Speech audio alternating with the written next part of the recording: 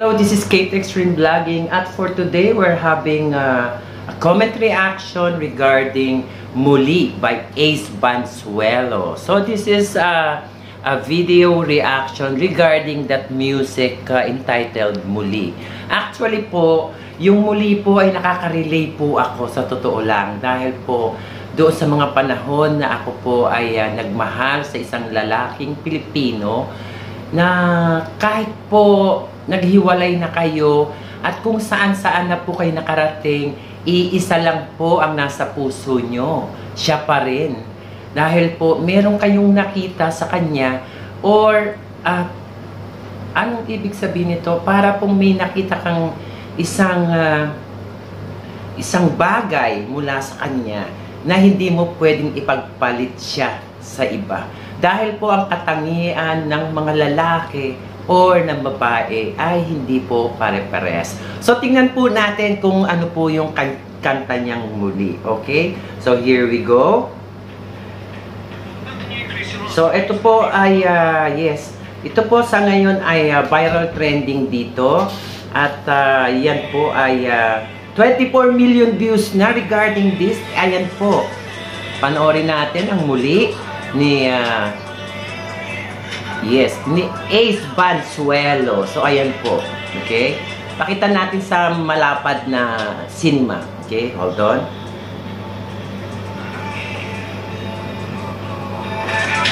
Ayan po. So, ayan. So, ayan po, yung title po na muli, ay actually po, kahit po saan ako nagpunta, at sino na po ang nakarelasyon ko, iisa lang po ang pinatangi ng puso ko. Iisa lang po. Alam nila yon. Alam po ng mga kaibigan ko kung sino po yon. Yes, nasa Pilipinas po siya. At sa ngayon po ay siya ay naglalayag sa ibang bansa. Nakasakay po siya sa barko. Okay? Siya po ang aking uh, boyfriend nung aking kabataan po. Siya po ang aking boyfriend. At hanggang ngayon po, siya ang aking tinatangi. Okay? So, balik po tayo. Okay? So, i-post natin. So, ayun po. Dumating po ang panahon na kailangan niya maglayag. Yes, at para po makatayo siya sa kanyang mga paa. So, kaya po sumakay siya ng barko doon po sa malayong lugar sa Europa. At uh, sa palagay ko po, inabot niya na po ang lahat ng bansa. So, salamat naman ako sa aking sarili dahil po meron siyang kinahinatnan. Okay, pagpatuloy po natin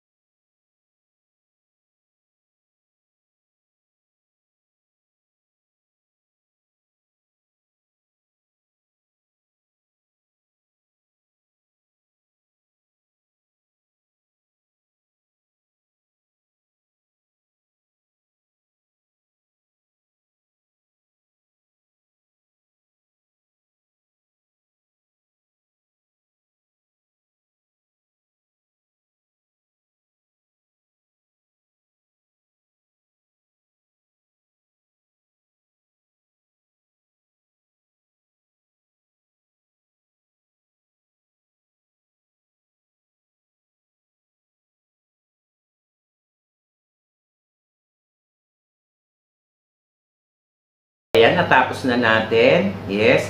So, ayan po yung comment reaction natin kay Ace Pansuelo. Nakaka-relate po ako sa storya ng, ah, ng lyrics. Yes. Ah, kung iisipin ko po, gusto kong balikan kung saan ako nagsimula. At para po, kung siya po ay free pa, libre pa po siya, ba eh, maghahangad po akong balikan siya dahil siya po ang tinatangi ng aking puso. Ace Bansuela, yes, ang title po ay Ace Bansuelo, ang title po ay Muli. Dito lang po kay Kate Extreme Vlogging. Nagpapasalamat po ako ng marami at kung hindi pa po kayo nag-subscribe, please subscribe to my channel, like and share. Dito lang po yan sa Kate Extreme Vlogging Dubai.